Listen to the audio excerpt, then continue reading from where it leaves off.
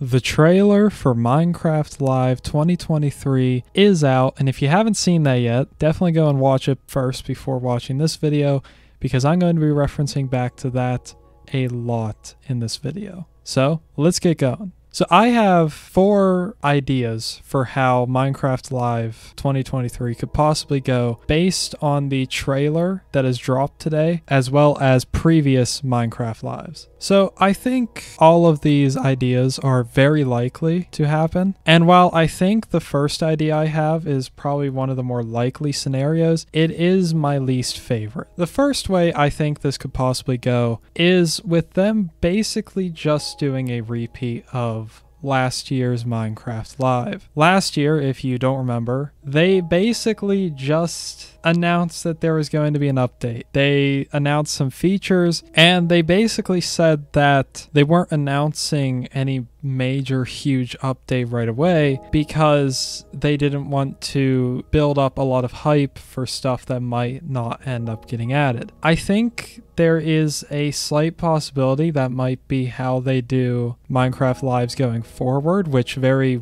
much worries me because it would mean that this year and for the foreseeable future Minecraft Lives, they're just going to be announcing a few features of a probably unnamed update, which could mean that updates just in general get a lot smaller or maybe they they stick with larger updates as well as smaller updates. It's just that N- minecraft live is no longer the place for those updates to be announced in their full. So it is my least favorite idea on how this could go. I guess we'll see what happens but if i had to put my money on it i don't actually think this is what's going to happen, but I do want to throw this out there that this may happen. Now that we got the depressing one out of the way, let's talk about a bit more of an exciting idea that they could be announcing. Now, while Minecraft Live trailers in the past haven't been the best at directly showing us what's going to happen, I do think that it is worth looking at a very prominent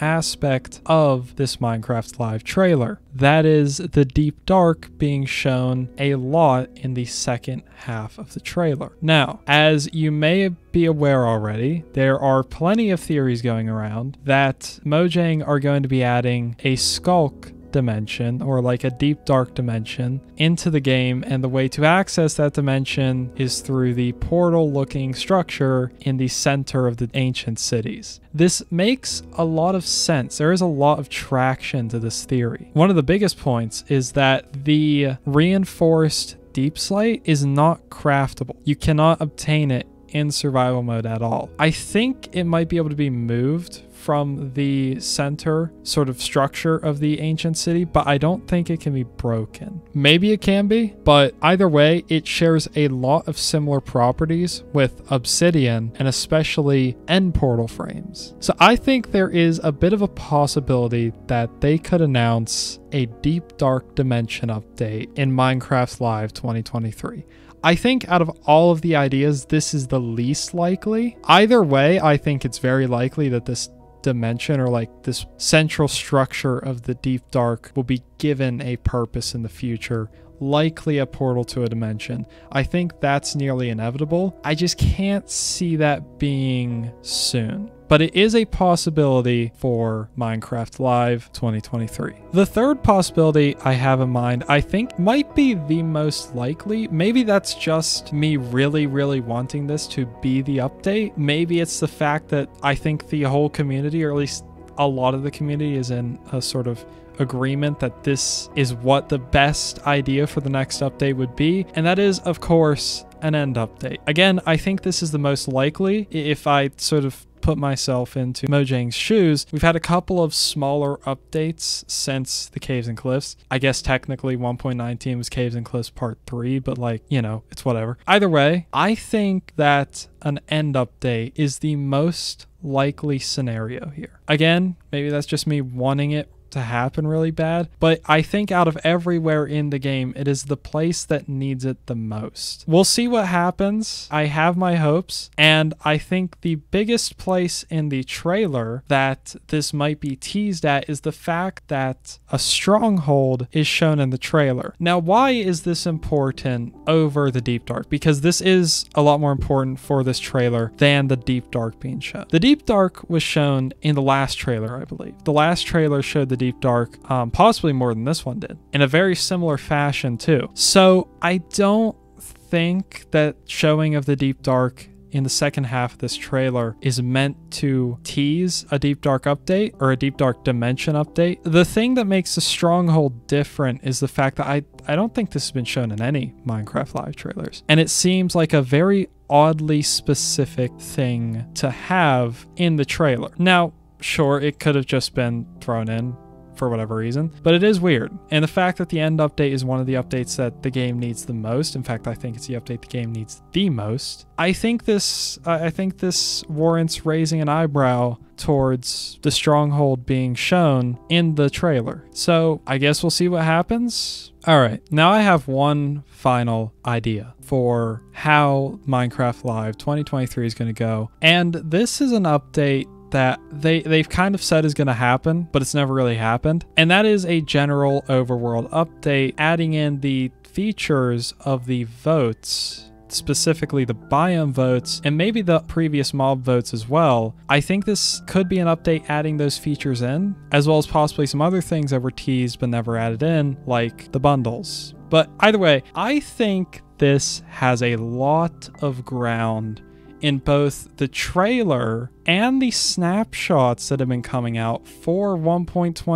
1.21 has had features showing up in the snapshots for 1.20.2 as experimental features. As far as I know, all of these are focused on villagers. It would make sense for this update to be a general overworld update since they're already doing stuff with villagers. This could possibly be a sort of cleaning up of the past few updates they've had that have focused on the overworld. I think there's one specific part of the trailer that might be teasing this update. So for a brief part of the trailer, there is three different biomes shown with the cherry blossom particle effect flowing through it for whatever reason. Cool animation stuff. Now, I think the first idea I have for what this specific part of the trailer means is that this is teasing that general overworld update. You see the oceans, the deserts, the jungle. This could possibly be teasing the desert biome update. Possibly something's coming with the jungle, and there's also an ocean. That's the first idea for this image. I have one final thing I would like to talk about in this video, and that is the mob vote coming this year once again. What's it going to be? Well, previous update